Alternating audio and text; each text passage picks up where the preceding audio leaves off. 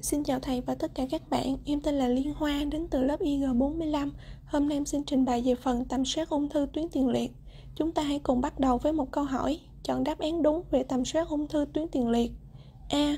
Nên tầm soát ở bệnh từ 50 tuổi trở lên, lưu ý người da đen, tiền căn gia đình bị ung thư tuyến tiền liệt. B. Có thể ngưng tầm soát ở bệnh nhân trên 75 tuổi. C. Chiến lược tầm soát bao gồm PSA máu và DRI định kỳ. D. Tất cả đều đúng. Để trả lời câu hỏi trên, chúng ta hãy cùng tìm hiểu vài nét về ung thư tuyến tiền liệt. Ung thư tuyến tiền liệt hay còn gọi là ung thư tiền liệt tuyến, ngày nay là một trong những bệnh ung thư hay gặp nhất ở nam giới. Tần suất gia tăng với mỗi thập kỷ, tỷ lệ mắc bệnh tăng dần theo tuổi. Nguy cơ chẩn đoán mắc bệnh ung thư tuyến tiền liệt trong suốt cuộc đời là 1 phần 6 và cao nhất đối với nam giới người da đen và những người có tiền sử gia đình mắc ung thư tiền liệt tuyến. Để tầm soát ung thư tiền liệt tuyến, hầu hết người ta sẽ sàng lọc kháng nguyên đặc hiệu tiền liệt tuyến PSA và thăm khám trực tràng bằng ngón tay DRE.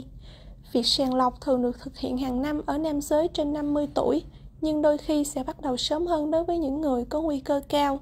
Hầu hết các bác sĩ đều khuyên rằng nên dừng tầm soát ở tuổi 75 hoặc ở những bệnh nhân có sức khỏe kém. Vậy đáp án đúng cho câu hỏi đầu bài là đáp án D, tất cả đều đúng. Cảm ơn thầy và tất cả các bạn đã chú ý lắng nghe.